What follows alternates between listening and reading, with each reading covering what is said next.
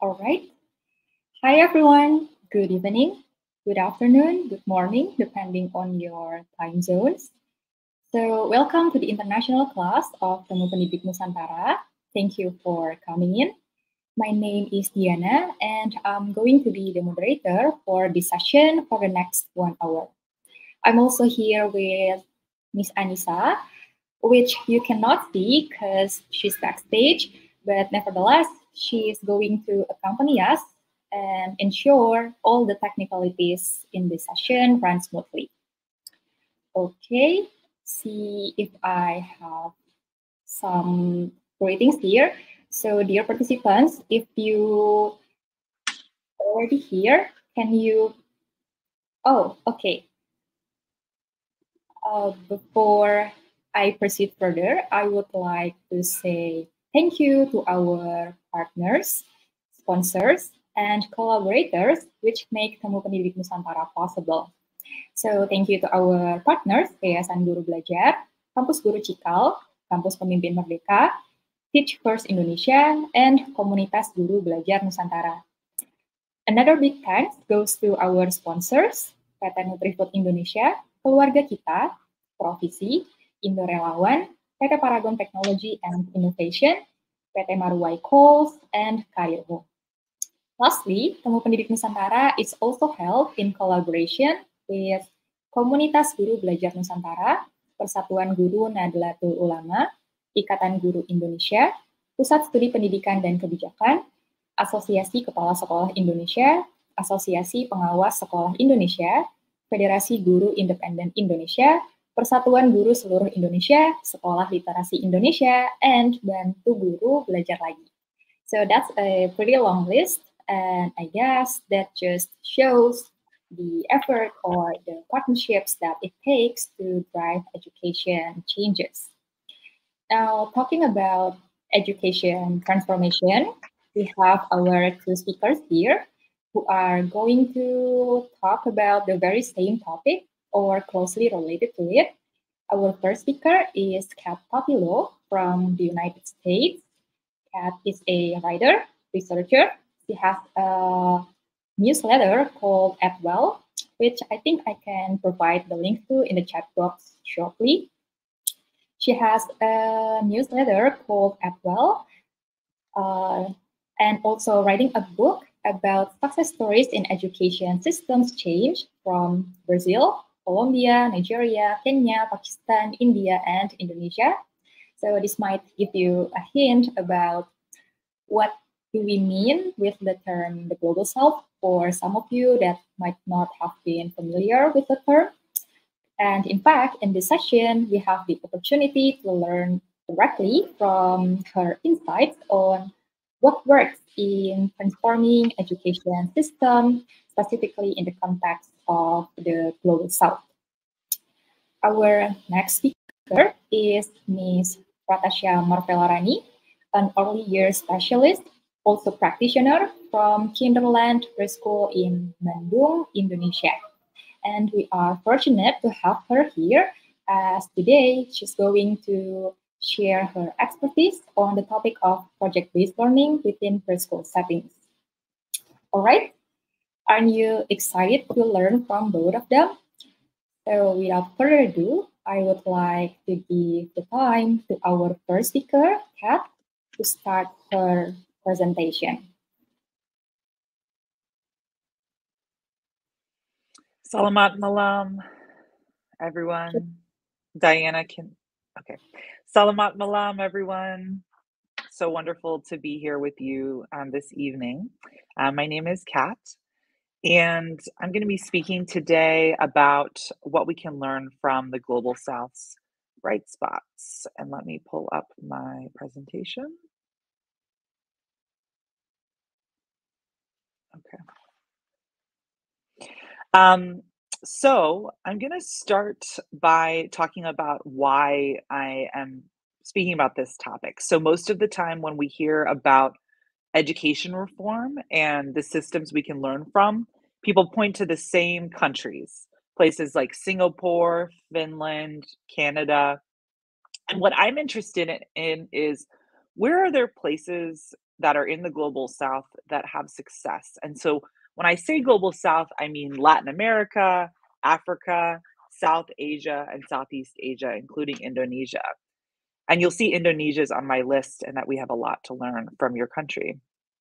And today I'm going to share what can we learn about how do we actually create success stories for education reform. So first, I want to take us back in time. So to show you that people have been changing education for a very long time. Um, starting with the Gurukul system in India many years ago, uh, when religious gurus used to bring students in their villages to learn different religious and spiritual practices. And this was really the first, um, oldest formal education system that existed anywhere in the world 5,000 years ago. We also had in Mexico, where the Aztecs um, system, they had the first universal secondary education system where they taught students about identity and shared values through myths and songs. And then we also had Islamic education. So in um, universities and madrasas um, next to mosques in Tunisia, Morocco, and Egypt, um, there were models of self directed learning and students coming to learn about different Islamic principles. And these were really some of the first universities in the world. Um, you also had in the Mali Empire in West Africa in the 1200s, griots using stories to teach students about their history and what they needed to know um, from a very long time ago. You also had stories being used to teach students how to write using hieroglyphics in Egypt from a very long time ago. Um, you also had some of the first forms of assessment and high stakes exams um, in China, in Vietnam, um, and you had training centers where students would come in ancient China to take assessments that determined whether they could become a part of the um, ancient Chinese civil service from a very long time ago. You also had the oldest university in the Americas um, in Peru, University um, de los Andes, and you also had the second oldest university in Africa in Sierra Leone um, from 1827. Um, you had also the oldest university in Africa in Mali, University of Sankore. You also had centers for learning of uh, Buddhist spirituality and religion um, in Pakistan and India. And what we see from these is that you know, we don't just have to learn from places like Harvard or Oxford or places in the US or the UK. In the global south, we actually have a lot to learn from. And what I'm going to show you today is what are some of those different models for changing systems. So these are some of the places we're going to talk about. And the first learning is that it can be politicians who change systems. So this could be someone at a state or province level. In Indonesia, this would be more similar to a district or a regency. But if you have a politician like a Bupati who decides that they want to prioritize education, they can really make change happen very quickly. So you have examples of this in Nigeria, in Edo State, with Governor Obaseki leading lots of reforms to his system in partnership with an organization called New Globe.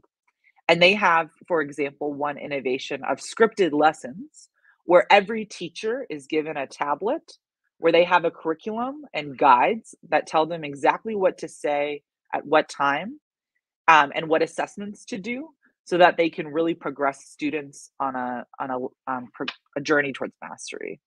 And it's very interesting.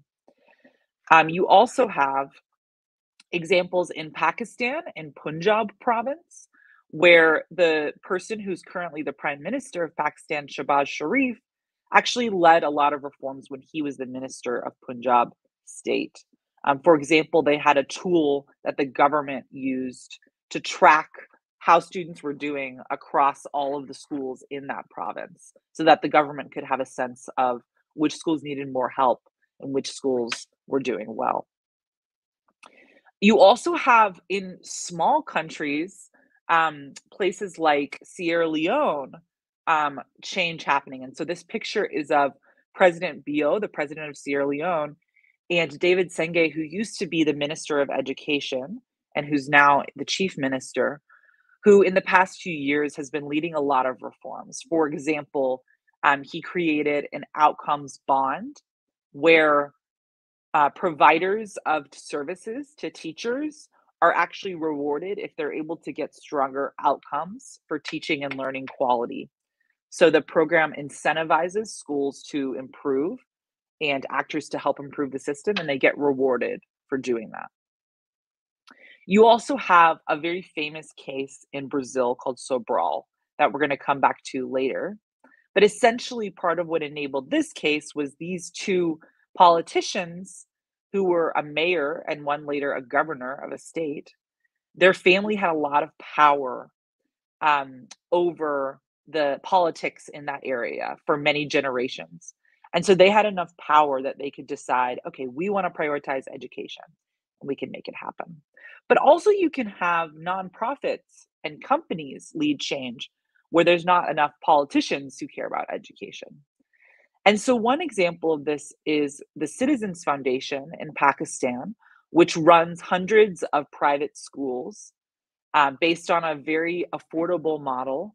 Most of the parents pay some sort of fees, some get scholarships, but it's it's enough that they can usually afford to pay, even the most low income families.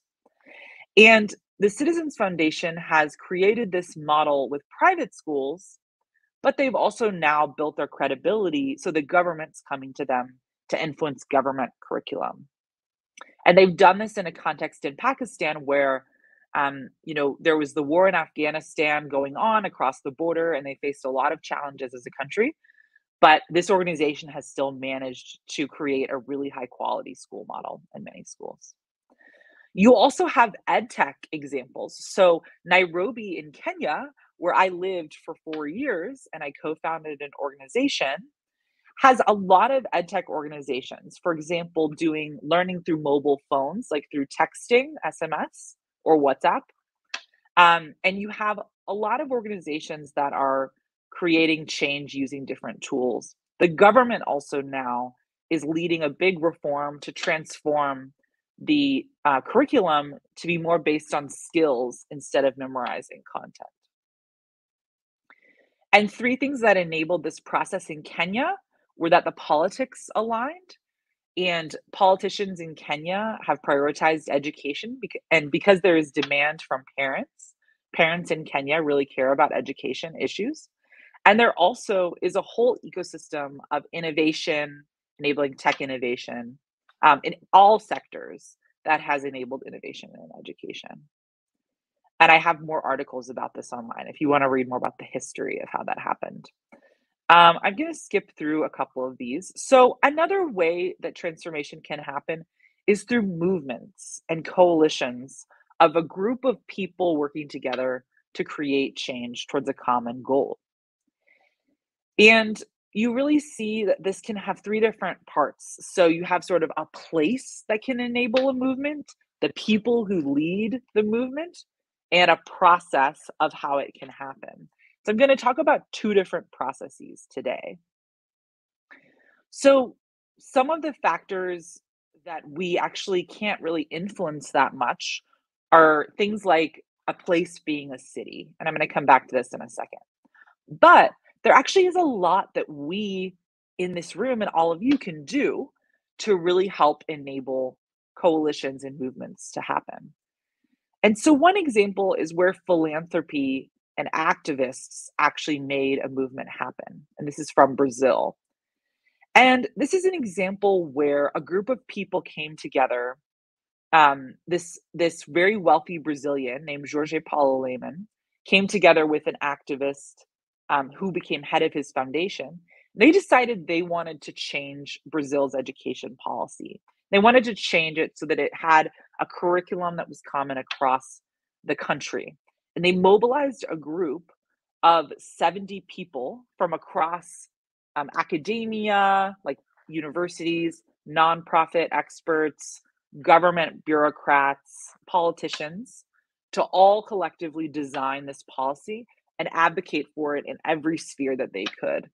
And this took many years. So it took them five years from when they started and decided to prioritize this policy to when they actually got the policy um, written into law, but they did it. And you can see here a picture on the left. This is a coalition meeting. And on the right, you can see an example of how there were a lot of protests actually against this policy, and it became a very intense process with lots of opposition. But the group was able to get it um, to get it to happen. Um, these are some of the examples of the organizations that were part of it. And another example is led by a political party in Delhi, India. And this is an example where um, the the man in red here, Manish Sisodia, was part of an anti-corruption campaign that they then decided to launch into a new political party called Aam Aadmi Party that ran for elections, and they managed in a very surprise election um, to to win power over Delhi, the city, in 2015 and they decided they wanted to prioritize education and make it their most uh, their biggest issue. And so they led all kind of reforms. One is a happiness curriculum and you'll see here on the left this is mr sisodia visiting a classroom and participating in students doing a meditation together that was led by students this is part of the happiness curriculum that they led and they also have all kinds of reforms to teacher training and um, committees that lead schools, and they really transformed all the different elements of the system. And some of the factors that shape how these happen so, whether a place is a city, so Jakarta, for example, um, has more innovation happening um, than a lot of other places in Indonesia just because of the fact that it has more people. Um, and also having economic growth and more philanthropists can also help because there's money for education. Um, also having a place with more social movements. So on the left is a picture of Paulo Freire, who was a Brazilian educationist who was led literacy campaigns for reading um, across the countryside in Brazil um, in the 80s. And on the right is Gandhi, who led the independence movement in India. And these are both examples of where Brazil and India have these long history of social movements that enabled the coalitions that happen now. But often there's things you can't control. And this is where sometimes things just happen um, and you have to just go with it and learn to flow. And so, for example, the case in India of the party I talked about, the main leader of that was arrested because the party in control, BJP in India, of the central government, is trying to weaken opposition parties. And so they've faced this as a big challenge in the process. Um, and politics can really impact whether a movement is successful or not. So, for example, in Brazil, the president, um, Dilma Rousseff, was impeached at one point. So she was removed from office while this coalition was trying to implement to advocate for their policy. It's caused a big challenge for them because they had to learn how to adapt and find ways to exert their power, even through this process of the president going through a change and being removed. But they did do it. Um, it's also important to invest in leadership pipelines. And so, this is why an organization um, like Teach First Indonesia is very important because leaders really do matter. And one lesson that we see is that having just three leaders can really make a difference because if if just three people come together and decide that they want to help start a coalition for changing education, that can be enough of a spark to light a process. And obviously, you need a lot of other factors to align, but that spark really has the power to set things in motion. And in both of these cases, we see that just a few people were able to get it started, um, and they were the ones who initiated. You also have, in both cases, organizations that were seeding different innovations and investing so that there were entrepreneurs creating different models. They were activists advocating for policies, and there were funders supporting both of these processes. You also see the role of actually just exposing what's actually going on in a system. And so the politician in India talks about how he saw the data coming out of this study called ASER that was measuring how many students were learning at what levels um, in India. And seeing the crisis that was clear from that data was what made him decide to value education. So, data actually really has a big role to play. Um, you also can spread activist skills and train people to do advocacy. Also, having exposure to innovative schools really does matter. And so, in India's case, a politician, Atishi, who was one of the key leaders in that Delhi reform, she actually was a teacher at an innovative school led by um, Krishnamurti, an educationist. And this is part of what shaped her to care about education. You also had examples where these leaders were going to different countries to visit and be exposed to what was happening in other places. Um, I'm going to skip through some of these. So we see that if a place has more coalitions, it's more likely to have some in the future. You also see the role that philanthropy can play. So I have a whole article about this, but there are all these different things that funders can do to make reforms more likely. And really, this is about having more funders. So, Tanoto Foundation, who you may know in Indonesia, is a great example of a local funder that is has a team who really knows the context they're working in and can adapt based on what happens. And so this philanthropy led approach can be really powerful when it's local. Um, government can lead reform itself. And so this is an example in Sobral um, where a mayor basically decided he wanted to change his system. And he did all of these different things on the right to do so. And essentially, the most important thing when I went and visited was that they have coaches. They have two coaches at every school, and their full time job is basically to sit in classrooms, observe teachers, and then give them feedback afterwards to improve. And having that feedback loop is really important and is a key reason, I think, why Sobral was able to transform their system.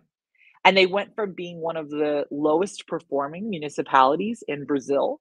Over the course of just a few years, they were ranked the top municipality in the entire country as a result of all these different things that they did. And it didn't cost them that much. They used the money that the government already had. Um, the current project I'm working on, this book, documents how all these different methods can be used. And so you'll see here Minister Makarim.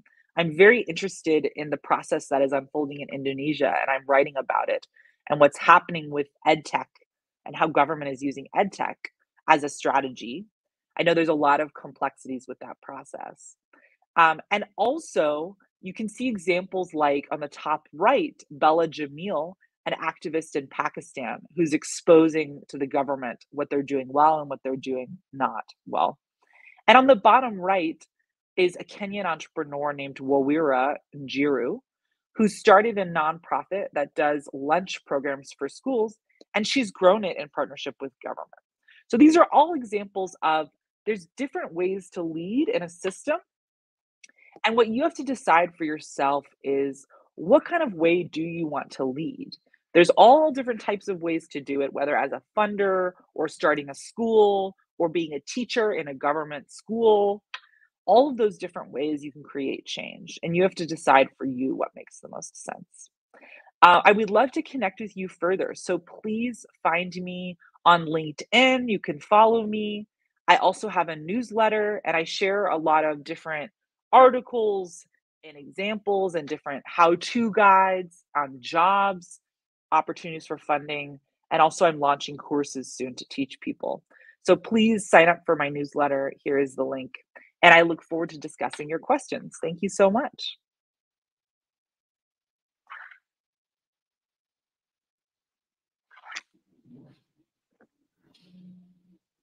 All right. Thank you, Kat. Many, many fascinating stories you shared with us. As an Indonesian and part of the global south myself, I think I haven't been that familiar with what you've shared with us. So thank you. Will, uh, dear participants, if you have any questions or any uh, thoughts, please write down on the chat box and we'll come back to that on the Q&A session. Next, we're going to learn from Ms. Tasha about incorporating global citizenship education uh, with a project-based learning approach within preschool settings. So, Ms. Tasha, the time is yours. Hello, Ms. Diana. Can you hear my voice? Yep, it's clear. Okay.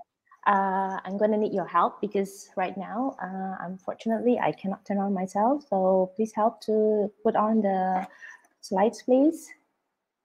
Okay, you can start from the first one, please.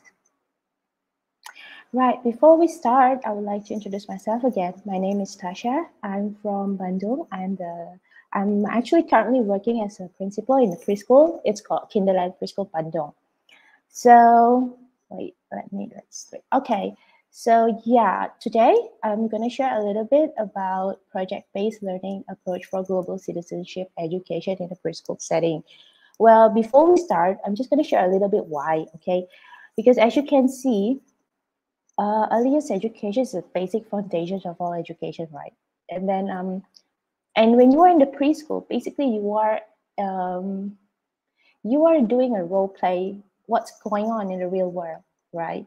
So being a citizen of the world is actually uh, everyone's responsibility, including ourselves and of course all the students.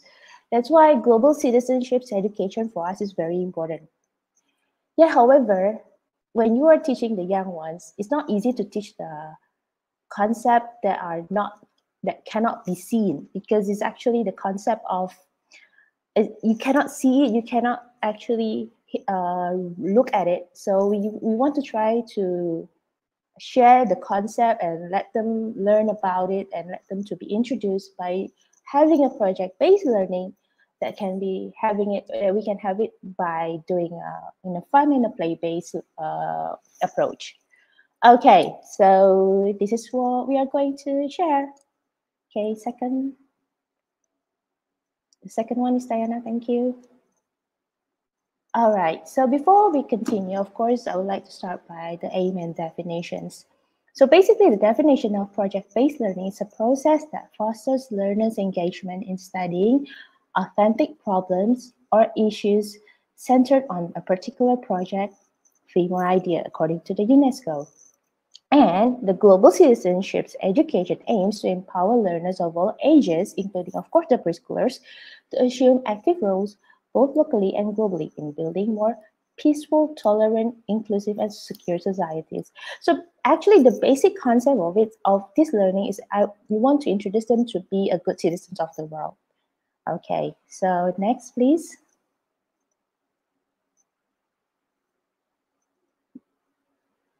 Yes, so from there, the vision is, as was mentioned in research, the most important aim of social studies teaching in early childhood is to raise awareness of citizenship. So therefore, citizenship, citizenship education to equip children with the skills necessary to play an active part in society and act as, as socially and morally responsible citizens. Okay, continue please. Next. Yeah, so this is like the idea of why we are doing it because citizenships education equip the children with the skills, the necessary skills.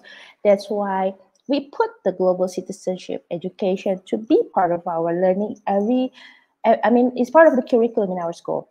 So we want them to be to build more peaceful, tolerant, inclusive, and, and secure society. But again, how? Again, it's not easy, as I mentioned before. We do it in a project-based learning. So therefore, we can see from the importance from that, uh, we conduct a project-based learning approach in our global education. I mean, global uh, citizenship education. Now, I'm not going to talk about the theory more. I'm going to share about it more about what we do at school. Okay, please continue, Miss. Okay, um, I, uh, we haven't started this year, uh, we, we, I'm going to share about what we did last year, last school year. Our project last year was about the climate change project-based learning and the tra uh, Kanjuruhan tragedy. Because it happened, we did it in October 2022. So the Kanjuruhan tragedy was actually happened on that time. So we want to let them learn about what is actually happening on the real world on that time. And we want to take the moral out of it and learn about it. Okay, next.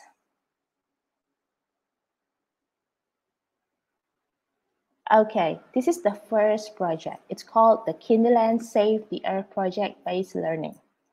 This program was conducted in October 2022 for raising the children's awareness to keep their only home. We want them to be aware that actually planet Earth is their only home.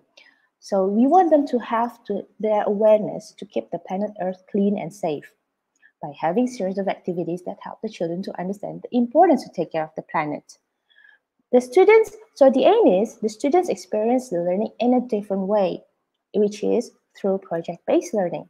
So, so they can have a project that been done together with their friends, which are cleaning the rubbish and sort the rubbish according to the rubbish bins and planting the trees and water to keep the school green. Next, this is the video.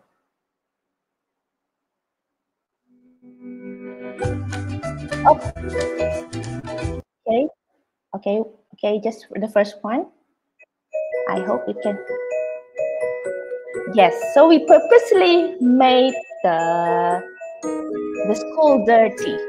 Okay, we put trash around the preschool, and then we want them to see what should you do if there are lots of rubbish around the school. And so we ask them to come to the parking lot.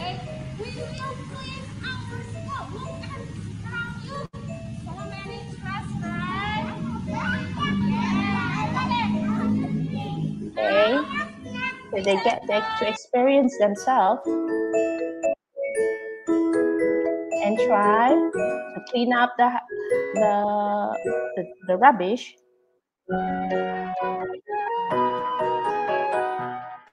good job yes murid lagi lagi. Aku hoba ni sampah should be put in Paper, where to put the paper? In here, yeah. Yes. One. Here? Yes, you put it here. Okay? Okay. Okay. Your job is to put the plastic to the bin. Yeah? Okay, so we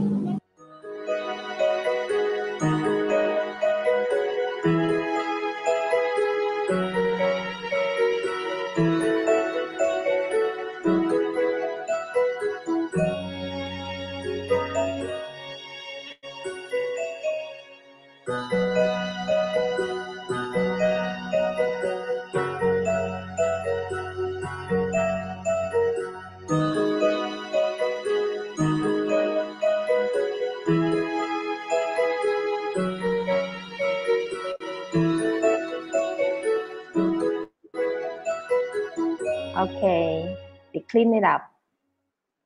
Right, now the next one is after they done that, we also ask them to learn how to keep the earth clean and safe, like by planting the trees.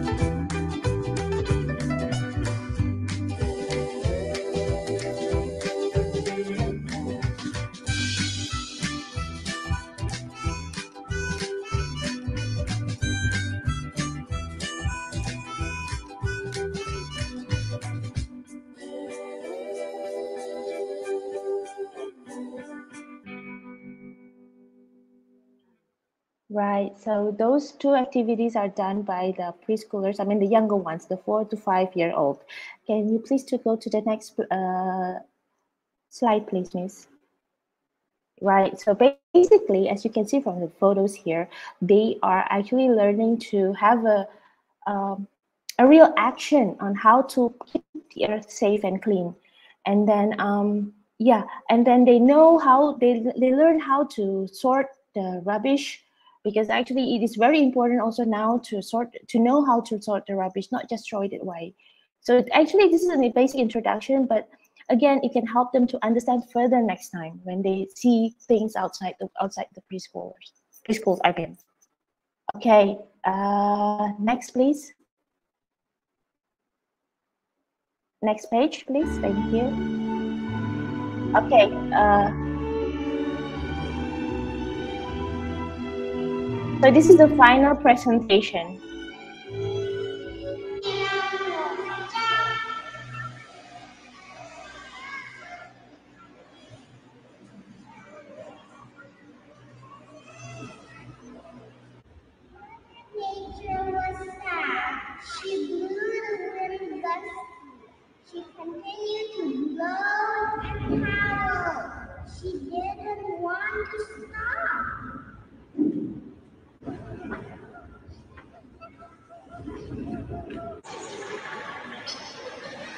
So we do an illustration of people being ignorant and throw rubbish everywhere.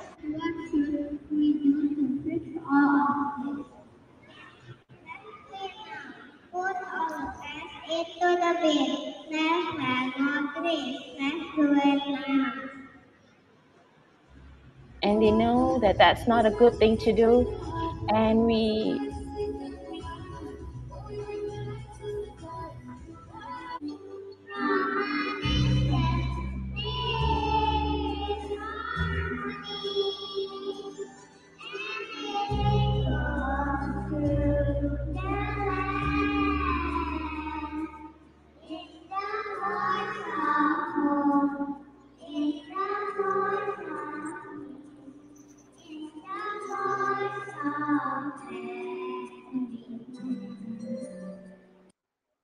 so basically this one is the final presentation.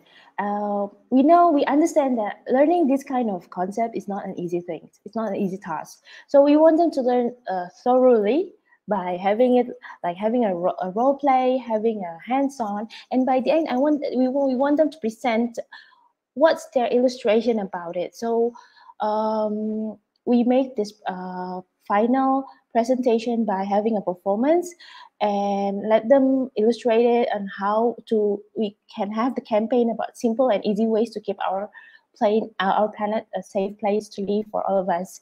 And basically to share the the, uh, the campaign that uh, you cannot wait others to clean up you know uh, to do the action we start from ourselves. That's what we are campaigning about last year. Next Right. So now is the second project that we've done. So this program was conducted also in uh, October 2022. So we took the most current issues on that day. That was about the kan- Kanjuruhan tragedy. I think everyone knows about it because it's a very it's a very overwhelming news about people. Uh, many innocent lives were taken, and it's very unnecessary. Unnecessary. So we were trying to share the simple concept for the kids to learn which was about sportsmanship and sharing empathy by doing role play and sharing examples. So the aims are the students have the awareness about the current issues that are on the news, okay? So they need to know. And the students will be able to learn about sportsmanship, about cause and effect concept, and also how to express their empathy to others. Right, next. Uh, yes. So this is wait, wait. Okay, okay. The first one is this one.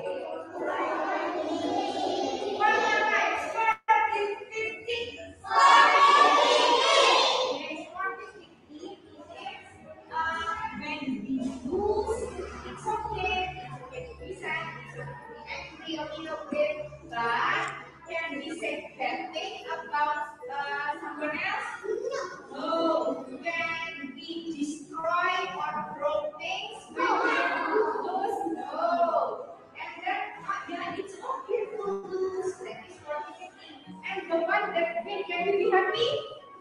Yes, we can be happy. Can we uh, the one that is lose? No.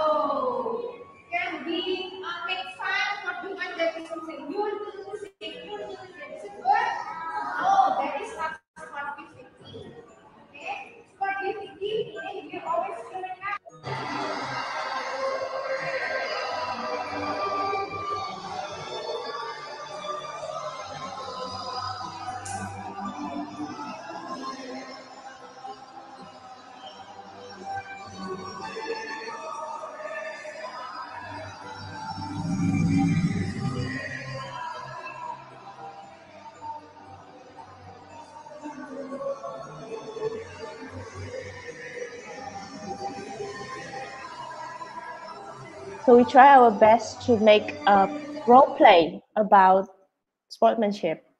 Next is the second video.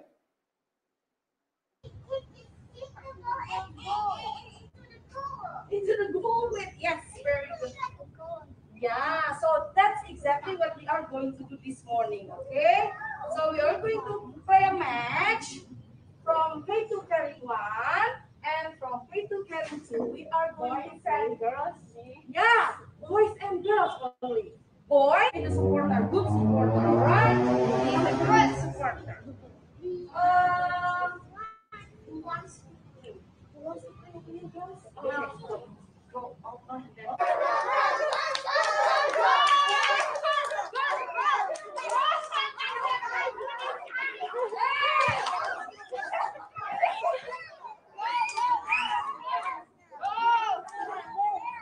open then. Play, please. Girls, the other way. The game is over. Now, uh, the score is one boy, one girl. Yay! Can you step on it? Marlene? Uh-huh. See, it's okay to feel angry, but we cannot. Oh, oh yeah, we cannot step on it. We cannot be angry to the player. Or cut the rope. Oh yeah, cannot cannot cut the rope too. Or some of the supporter they just go over it. and then stand oh. Go, Uh go, go. oh. Is it a good thing to do from supporter? No. Sometimes they break things, right, miss? Like this. Uh oh. Uh oh. When they want to, I win. Yeah. And they break everything. Is that a good thing to do, children? Destroy people like this. Why I win, you lose. Why? Like, can you do that? Can you do that? No. We will girls or from other teams, we keep, have to support them. Okay, do not destroy. Okay. All right. Or do not hurt others. Do others. not hurt others. Yes, break things, hurt others. We win or we lose. Can we break uh, the things? No. We win or lose. Can we say bad things to others? No. Win or lose. Can we hurt others? No. Because it's game. We're supposed to be happy, and it's just the game, right? Yeah. If they win, yay! Good for you. Good for you. Congrats. Okay. If we lose, it's okay. It's okay. Next time, maybe. Now you can say nice. All right, that's the videos about it. And then can you please go to the next page? Yes, these are the photos. So basically what we are trying to do, what we were trying to do that time was we were trying to make a role play about what is actually happened on that time. And then um, we want them to understand that uh, we have to be very, we have to understand there's cause and effect. Like if you do things, you might make other people hurt. And then what will happen if you do that? Or we, we want them to have a very, I mean, it's also a very simple one in a simple, very simple way. We want them to understand on base on basic manners when you are being a supporter and how to share empathy when something happened. So we share the information that on that time there are many people that uh not ha- uh, having a good time, and then there's there's this tragedy that made people die. So they also we also ask them to try to share their empathy and write their uh, empathy to the to the people that are actually affected on that time. So yeah, that's what we did on the uh, on our preschool uh, last year. Okay, and every year actually we did this in every different um, topic because uh, basically we want them to understand that there things happen in the real world and uh, we will we try our best to do it in a very to make it simpler so the kids will understand in their own pace. So that's how we did it. Next. Uh, next stage, uh, next page, please.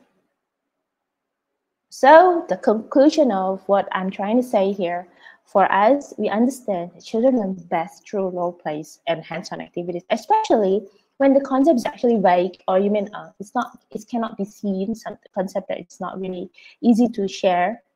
And then to face this 21st century climate change is actually important for the kids to be equipped and understand uh, about the ideas of climate change. So they have to be equipped with the uh, knowledge about how to handle to take care of their planet earth since they're very, since they're very young and then other than to aim the main objective of the project-based learning itself, it also can be found that children also have others emerging skills in during the process. Because when you make projects, you're actually doing it together with your friends, right? So the activities uh, includes other social emotional skills development, such as teamwork, patient, patience, independence, self-confidence, and problem-solving skills. So it's actually uh, good in many ways for the kids to do this. To do this, and we did we do this usually uh, at the end of the semester. So it's actually like uh, helping them to understand further about the things that they are actually learning. And then lastly, project-based learning shares a lot of activities that enhance many of the children's skill development with a good aims and preparing them to be a good citizens of the world at the end. So basically, that's what we're uh, what we are trying to do uh, in the preschool. We are actually equipping them to be more ready to the next connect to the next education. So we are trying to equip them more with more uh, skills to to be able to go further. That's what we're trying to say. So thank you for listening if any one of you want to have questions and have a discussion then you uh, let's do it thank you right thank you miss diana all right. Thank you, Ms. Natasha, for your presentation. I see that some participants do appreciate the practices and so for example here Ms. Nifa say thank you Ms. Natasha for the inspiration and also here Mr. Irianto I think uh, he appreciates how the project-based learning makes the student more active in the classroom. So, thank you. Ms. Natasha. Now that both of our speakers have shared their presentations, we will proceed to the Q&A session.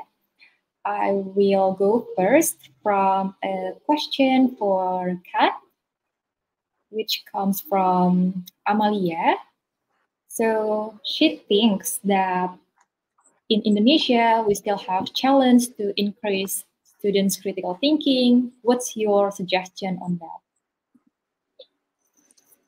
Thank you, Amalia. I think that's such a great question. Um, so I think that actually it really links to um, Natasha's presentation because I think that often it is about creating active learning. So I think often students don't have enough critical thinking because they're taught to memorize content mm-hmm. and teachers are just standing up in the front of the classroom giving a lecture saying here's what you need to know write it down and then the students spit it out on the test and i think that that teaches students to just be robots who follow um, instead of actually thinking critically. And so I think that there's a lot of different strategies you can use mm. to enable more critical thinking. And I think project based learning is one of those strategies. So that was a great example with students at a younger age. But you also can use project based learning with older students and engage them in projects where they're working in a team to deliver an, an outcome or they're having to go research a topic that they find interesting that they choose um, there's all different kinds of ways you can do that and i think um, some examples you can look at so the international baccalaureate curriculum is a network of schools around the world use it and that curriculum is one that i've seen that does a really good job of teaching critical thinking. Um, and so you can look online, and there's a lot of resources out there about how to learn from International Baccalaureate. Um, so that's that's one example I would point you to. And there's a lot of different schools across the world using it. I'm sure there's probably schools in Indonesia as well. Um, and I'll try to find one and put it in the chat. Um, but you definitely can do it. And I think particularly in Indonesia, where sometimes in the past people were actually punished for criticizing the government or for having critical thinking, I think it makes sense that you know there's not as much of a culture of that in general. And so I think it's up to you as teachers to create a new generation where students feel free to speak their minds and question the status quo and really engage as citizens create a better future. So thank you, Amalia.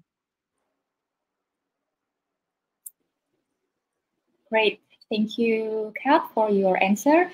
Maybe Ms. Tasha wants to add since uh, project-based learning can be one approach that helps increase critical thinking. Yes, I believe so too. Because um, maybe I'm talking about in a mm. preschool context because um, especially when you are talking with the preschoolers, yeah, with the young ones, they have their own they have their own minds. If, although if you ask them to think in in your way, they won't think in your way. They have their own minds. So it is it is easier for us to actually share something and then let them learn about it by project based and doing a hands-on activities other than you actually um, tell them what to do. Because when you do a project they can find out uh, by themselves like they have their own learning in their own ways. Because when they do the project they can see the process they can see the the the concept that they are actually uh, building by by themselves so for me project-based learning is very important for the kids these days because um, we live in a world that we um, that they cannot just follow without thinking about what's going to happen next, in my humble opinion. So for me, uh, it is better for them to understand what is actually the concept itself rather than to uh, to and then really comprehending it without and then not not just doing it without I don't understand what is actually happening and just follow it. So what we are trying to do is, well, for me in the preschool also, we don't want them to learn by that way because it's actually not helping them in the future, in my humble opinion. So that's what I'm trying to say. I want them to learn more with their own mind so they know what is right, what is wrong, and then um, try to find the best ways for themselves.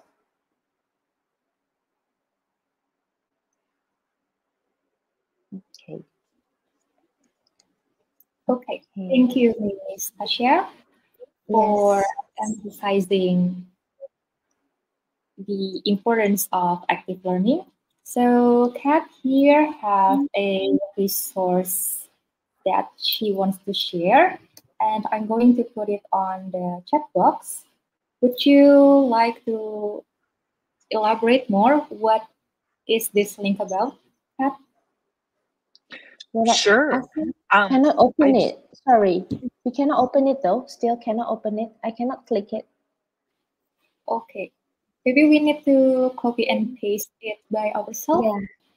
Oh, okay, okay. All right, thank you. Please, uh, Kat, sorry to interrupt your uh, conversation. No problem. Um, it was just a resource I found pretty quickly looking online. Um, and it has a bunch of examples of you know models for critical thinking lesson plan examples things like that. Um, but there are a lot of great resources online. And so i think you know it can just be a matter of going to google and typing in um, resources for teachers to teach critical thinking. And there's a lot that comes up. So amalia there's a lot of good um, resources out there um, to help you with this um, and in terms of helping you think about specific strategies. So um, there's a lot of help out there. And this is just one mm-hmm. example. Yeah, yeah great. Thank you, Kat. Ms. Tasha, do you have any additional comments? Oh, no, no. I'm actually literally looking at it right now, Kat. so sorry, I'm actually open and trying to open it. So yeah, actually it's really helpful. Thank you, Kat. It's gonna need uh, more resources for us to, to have further re- reference for our critical uh, thinking learning, right? Thank you. Yeah, I will also definitely check the link. And as Kat said, there are many resources in Google. We can literally just type it. Okay, so Amalia and Margareta here appreciate for the resource that you've shared. Okay, now we still do have some time. So for all participants, should you have any questions, this is the right time to put down your question. And probably while we wait, um, I think it's interesting how Kat starts her presentation by saying uh, we can learn a lot more, not just from like the UK or the USA, but also from countries from the world itself.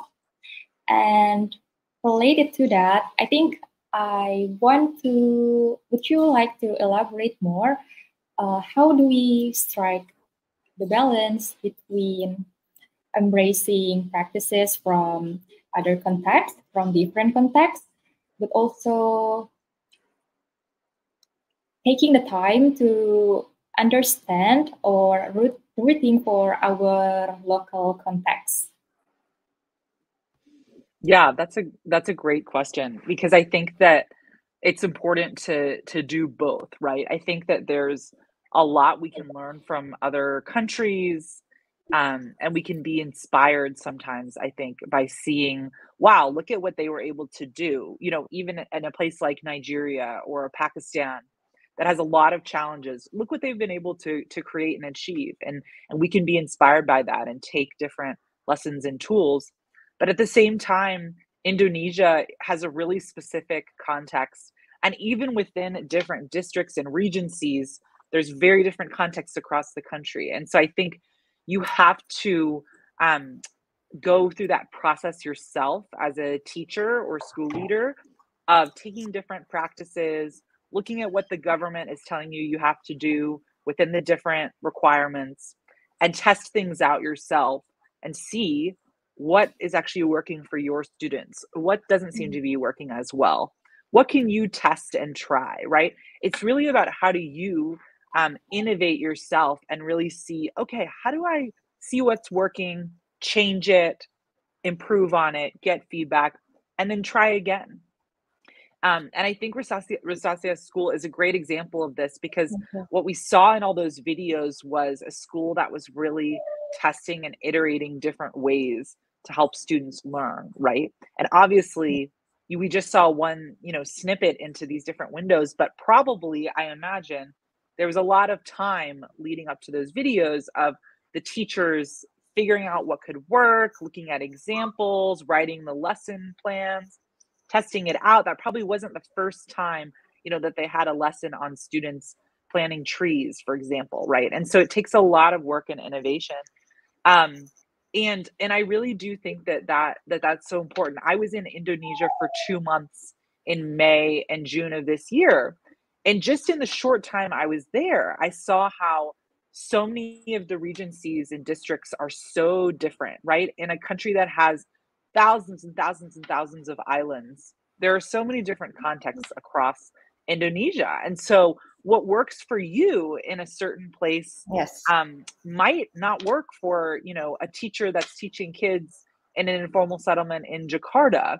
You know, if you're a teacher working in a really rural area that doesn't have as much access to the internet or Wi-Fi. So it's going to be up to you to really see um, what works and what doesn't and there's not a one one size fits all solution yeah. and also what's great about indonesia is you already have a lot of bright spots even across the country so we've seen some of those in this session today um, but there's a lot happening and and part of why i think indonesia is really exciting is because you have um, this work that the government and the ministry is leading uh, you also have different nonprofits who are training teachers. You have different innovative schools. So even within the country, there's a lot you can learn, and it and this conference is an opportunity for you to to learn and see examples of what's going on. So I would encourage you to check out the other speakers um, and watch the other sessions too, because there's a lot you can learn from from Bright Spots in Indonesia already. Thanks, Kat. Really appreciate that. So, um, Miss Tasha, do you have any comments as teacher? How do you experiment, like kind of experiment to see what works and what doesn't in your classroom or your school? Yeah, actually, when I saw Kat's uh, presentation, it's actually really inspiring. Kat, I mean, like people, uh, I, I, I actually haven't seen it directly from uh, from under from your examples that they are actually doing a lot of things, and it's very inspiring. And I, I quoted your words that say three people can make a difference. It is actually it's true. It does make a difference, and then also and well, of course, there will be a lot of challenges among them, but then of course it's it's really inspiring. It, it it's not a it's not a matter about uh it's not a matter about whether you uh it's gonna work or not. For me, it's about whether you want to try to make it work, right? So that's that's what inspired me the most about what you're trying to say in this uh, presentation before.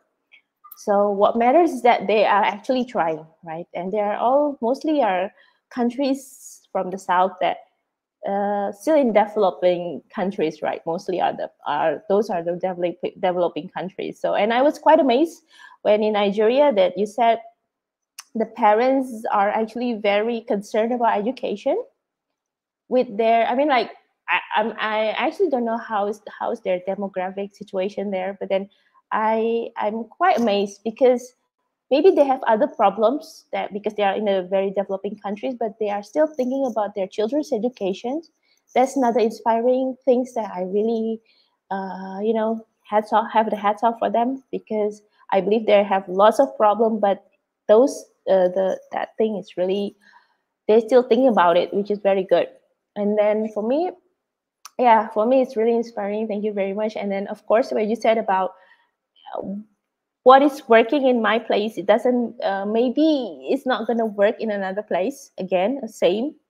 But but it's actually inspiring you know like when you sh- you show it to me in other countries they did it like that. Maybe it's not going to work in my place mean, like if i did it the same way. But then again again this the inspiration itself which actually like ignite the the the spirit of the the educator to do more i think that's that's that's that's very nice it's really inspiring. Thank you, Kat. Thank you.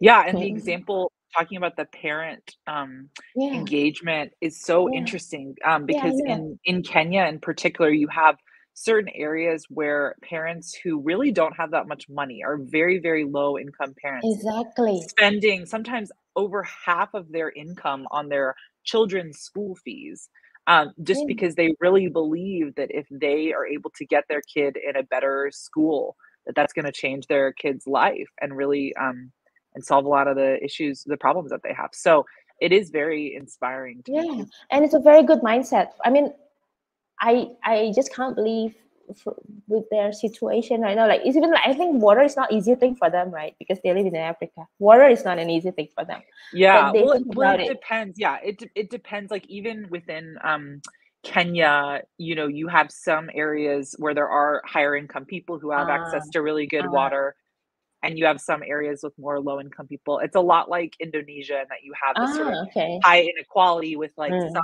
really rich people some middle class some low income mm. um but yeah, for the for the for the people that I was talking about who are sometimes spending, you know, mm. so much of their income on education, mm. you know, they would be making the equivalent of probably two US dollars a day. I'm not sure what that would be in the mm. Indonesian currency. Um, mm. but but not that much. And so and they're yeah, and they're and they're deciding to prioritize it, you know, yeah, and not necessarily good. spend as much on food or water or yeah. housing or these other issues. Um, and there's a whole bunch of reasons why Kenya yeah. is like that, but it sort of has to do with the history of the country. But um but yeah, it's very it's very inspiring. Yeah, and I think inspiring. one thing one thing I mm-hmm. wanted to mention too with Indonesia that I found really interesting when I was there was that um, it's really the bupatis that can make a huge difference. So when I was um, talking about the role of politicians and things, like what I saw in Indonesia was if you have a bupati who decides they want to work on education issues, you really can have a lot of change in a district and a regency. Mm-hmm. Um, and you know, there's not that many bupatis really where they really care that much about education. But if you think about you as a teacher or leader trying to change a system, that might be a way to go. Is really how do you influence what's happening in your regency or district and what the bupati is doing? Um, because if you can influence what they're doing you really can create change across schools mm. in that area because indonesia is so decentralized you know the, the, ministry itself doesn't actually have that much power. So yeah. um, so i think if you think about even the ways to create change you know in indonesia it's it looks very different politically than in a lot of the other countries that i've mentioned but there's a lot of opportunity. Yeah well it's just it's just a matter of whether you wanted to do it or not. It's actually from there right like what you said before from your presentation. It's very clear. Thank you very much. Start from yourself, isn't it? Thanks, Kat yeah. and Ms. Tasha. I enjoy to see your both of your discussion, but it turns out that we already passed one hour. So we've come to the end of this session. I know it can often feel like there are countless things to consider and discuss when it comes to education. So please let's keep the conversation going. Uh, but before that, I think I want to bring up this comment from Ibu Dewi. If the Bupati was a teacher before, maybe he or she would be more engaged in developing the education. So that's a good point from Ibu Dewi. Right. Okay, so again, let's uh, keep the conversation going. One way to do that would be to subscribe to Kat's newsletter, the Upwell newsletter. And also, we can find out more about project-based learning, like what is implemented in Miss Tasha school. And please share your thoughts, reflections, insights that you've got from this class from this session on your social media.